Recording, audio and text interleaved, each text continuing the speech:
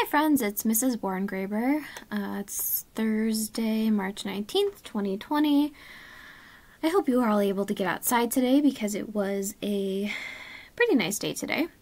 We're on day two of our ELA work from home schedule.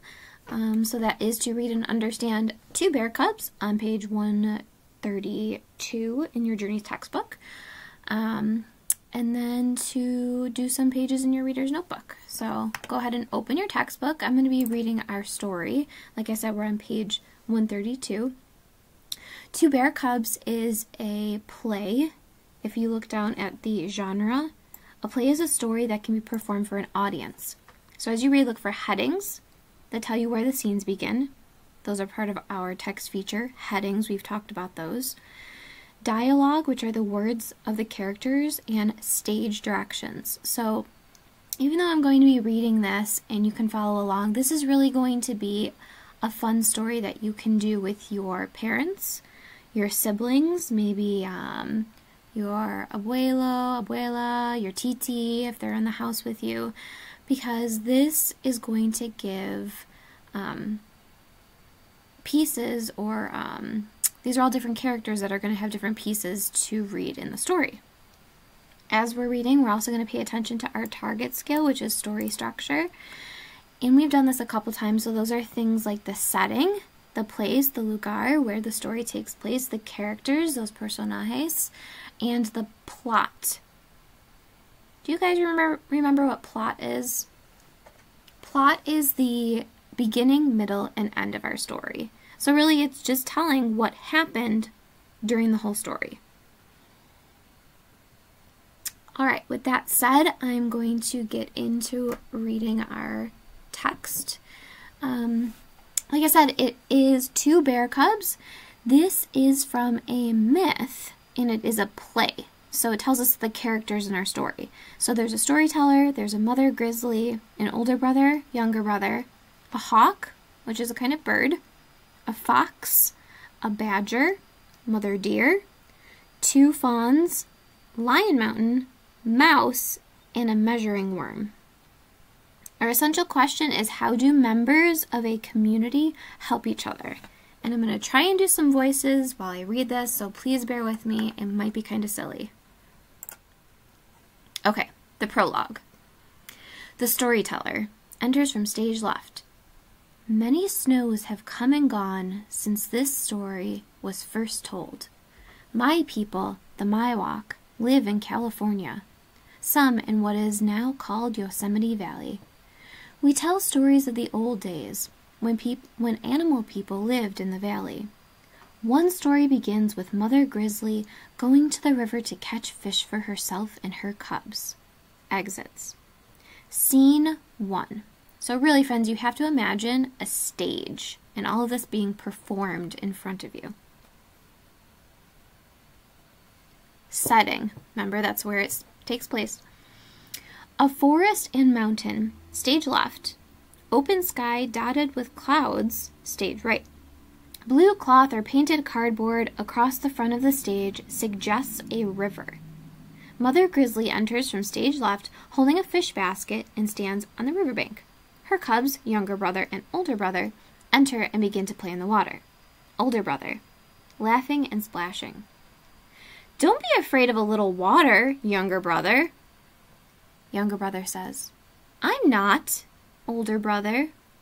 Mother Grizzly scolding. Children, stop scaring away the fish, or we will have nothing to eat.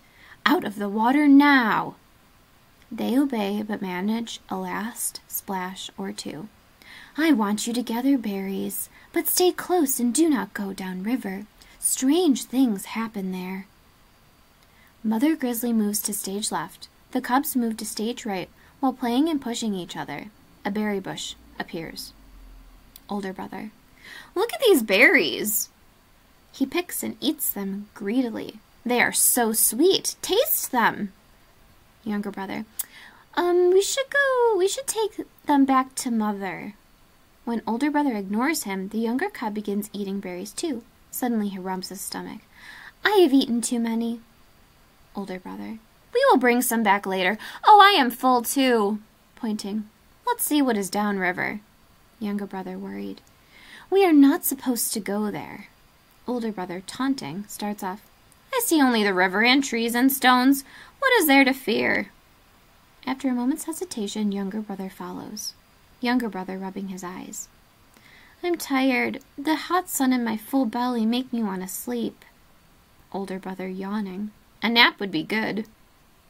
A raised platform decorated to look like a rock slides into view. Younger brother pointing. See that big flat rock? It looks so warm. Let's rest there.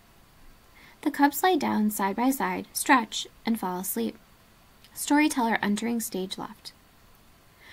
The cubs fell asleep on the stone, but the stone was the seed of a mountain. As they slept, the stone grew bigger and bigger, higher and higher. His hand spiraling upward suggests the mountain, the growing mountain. It carried them so high that only Hawk saw them as he flew by. Hawk enters stage right, waving his arms like wings. He flies past the rock, looks at the sleeping cubs, and then flies back off stage the way he came. Storyteller continuing. Meanwhile, Mother Grizzly wondered what had become of her cubs. Fox and Scene 2. Fox and Badger are on stage, leaning cedar planks against tent shaped frames of poles. So they're lying the boards, like made out of wood, against something. Mother Grizzly enters stage left, calling, Older brother! Younger brother! Mother Grizzly sees Fox and Badger. Fox, Badger, have you seen my cubs? Fox, No, I have been helping Badger build a new home. Badger, Neither of us has seen them. We will help you look for them. Fox, Badger, and Mother Grizzly search to the right. Mother Deer and Fawn enters, stage left, and seat themselves, grinding acorns. Fox, Badger, and Mother Grizzly return to stage left and discover Mother Deer and her two fawns. Mother Grizzly. Mother Deer, my little ones are missing. Have you seen them? Mother Deer. They have not come by while my children and I were grinding acorns but we will help you find them. Mother Deer and Fawns rise and join the others as they move to stage right and then back again to left. They meet Mountain Lion, carrying a load of firewood. Mother Grizzly. Mountain Lion, we are looking for my lost cubs. Mountain Lion sets her burden down. I will help you find them. All move to stage right while Mouse enters from left and sits. Mouse is weaving a basket. The group at stage right moves left and meets Mouse. Mother Grizzly. Mouse, have you seen my cubs? We have searched everywhere for them. We have looked in hollow logs and caves and in the berry patch and the honey tree. Mouse rising. No, but I will help you. Perhaps they went down river. Mother Grizzly. I warned them not to go there.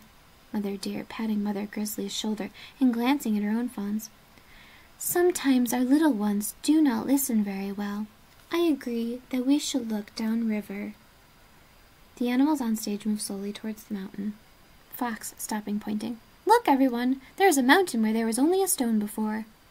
All slowly raise their heads as they scan the mountain from base to summit. As they do, Hawk enters as before, flapping his wings. Mother Grizzly. I see Hawk. Cups. Paws around her mouth and shouts up to Hawk. Hawk, have you seen my lost cubs? Hawk calling down. They are asleep on this strange new mountain. Mother Grizzly calling up. Please fly to my children, wake them, and help them find their way down. Hawk pantomimes flying towards cubs and being blown back by the winds. After several tries, he speaks to those below. Hawk calling down. The wind will not let me reach your little ones. Someone will have to climb up and rescue them. Storyteller enters stage left. One by one, the animals tried to reach the cubs. Mother Grizzly tried several times, but always tumbled back. Mouse jumped from stone to stone, but quickly got scared and jumped back down. Badger climbed a bit higher. Mother Deer a little bit higher. Fox did even better, but none succeeded. Even Mountain Lion failed. When Grizzly, Mother Grizzly sees this, she begins to weep. The other creatures gather around to console her. Unnoticed by them, Measuring Worm enters. Mother Grizzly sad, sadly. Mountain Lion, you are the best climber and were my best hope. There is no one now who can save my cubs. Measuring Worm. I will try. The other animals turn and stare at him, and then all except Mother Grizzly begin to laugh. Mountain Lion. Foolish measure Measuring Worm, do you think what you can do what the rest of us have failed to do? Mouse. To Takana. Your name is longer than you are. Storyteller appearing stage left. My people call measuring word worm to takana, which means little curl stretch. He moves by stretching to, then curling talk, the way a caterpillar moves. Mother Grizzly drying her eyes. I welcome your help. Measuring worm begins to climb, all the while crying to talk. The other worms sit, staring the other animals sit, staring at the mountain, watching as the worm stretches and curls in a climbing motion. Measuring worm loudly. Two talk, two talk. Scene 3 Storyteller. In time, Measuring Worm climbed even higher than Mountain Lion. He climbed so high that the animals below could no longer see him, see or hear him.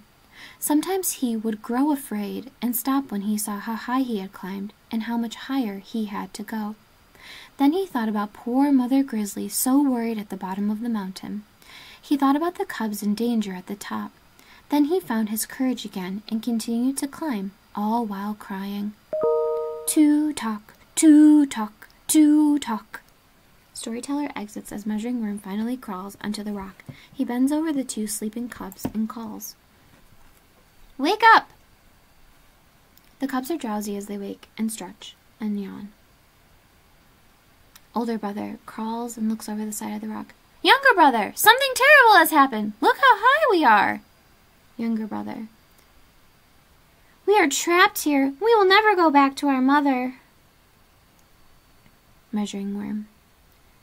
Do not be afraid. I have come to guide you safely down the mountain. Just follow me and do as I say. We will follow the safe path that brought me here.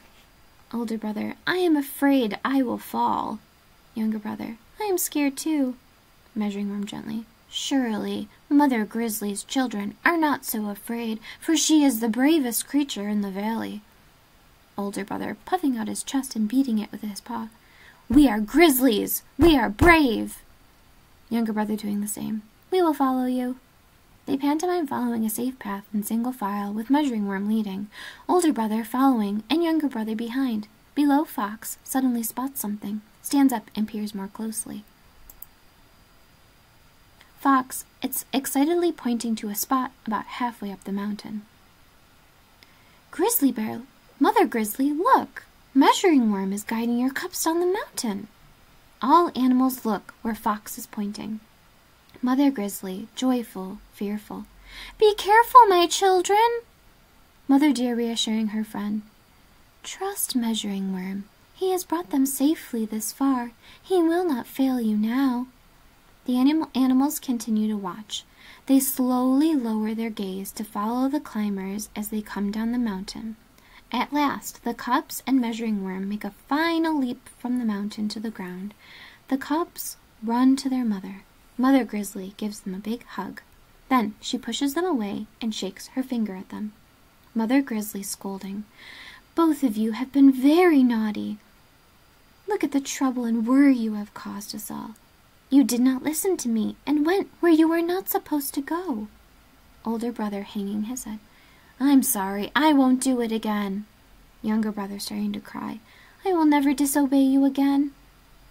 Mother Grizzly gathering them up in her arms again. Be sure that you remember what happened today, but do not cry, little ones. It has all ended well, thanks to the help and courage of Measuring Worm. The animals gather around Measuring Worm and congratulate him. Storyteller enters stage left. Then all the animals decided to call the new mountain Tu Tok Anula, which means Measuring Worm Stone. This was to honor the heroic worm, who did what no other creature could do. He saved the two bear cubs. The mountain held his name, for many years until newcomers named the mountain El Capitan. We, my walk, still call the mountain Tutakanula to this day. The end. All right, friends, like I said, our story structure is the skill. Um, so if you had to think of what the setting and the characters were, this is something that you could do in your notebooks and draw this graphic organizer right here and write down the setting. What is the setting of our story and what are the characters? Here's another example of a story structure from Invasion from Mars. They have the characters listed, the setting, and the plot. So it happens in the beginning, the middle, and the end. If you Google story structure anchor chart, you'll see a lot of examples. Here's another one. Character, setting, plot. Also in Spanish, we've got the personajes, la, la problema, um, lugar o ambiente, and solución. Sorry for my bad Spanish. But these are really what we're looking for for our story structure. Um, your task today is to Read the Bear Cub story and complete pages 43 and 44 in your reader's notebook. And then also if you would like to then go on and in one of your loose leaf or notebook, write down the setting for two bear club cubs, write down all of the characters. Remember there's a list in your book for that. And then the plot. So there's three scenes, one, two, three scenes. And again, these are, each scene has a heading right here. So think about what happens in each scene, because every scene is different. If we go back to the first scene, what are the two bear cubs doing? And where are they? How does that change in scene two? What happens in scene two that's different? Where's the mother grizzly and what's happening in the plot? And then finally, in scene three, where are the characters and what is happening? So what is the where where is the problem and what is the solution in our story? All right, my friends, that is our ELA lesson for day two. Um, I'll be posting, like I said, videos for every day. Please stay safe. We really miss you. We hope to see all of you soon. Um, and take care.